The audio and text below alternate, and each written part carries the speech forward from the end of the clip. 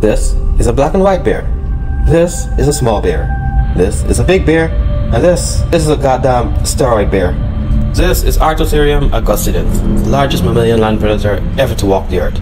There were two types of short-faced bear, the American version, Arctodus simus, and our South American buddy here. The main distinguishing factors between these two bears was the size. While Arctodus simus was a massive bear around 980 to 1100 kilograms, Arctodus angustidens was much, much larger, with base stats placing it at around 3500 to 3700 pounds, while the larger estimates place it at around 4,500 and even 5,000 plus pounds. But its relatively short but robust face gave it an estimated bite force of around 2,000 pounds. And like most today, it eats its prey alive, since unlike felines and other predators, it has established sufficient equipment to kill the prey easily with a crushing bite to the windpipe. So it usually eats the prey alive and ass first. If you are one of those persons who want to see prehistoric fauna brought back to life, maybe reconsider this one, because if it finds you and it catches you, it's gonna eat your Booty like groceries.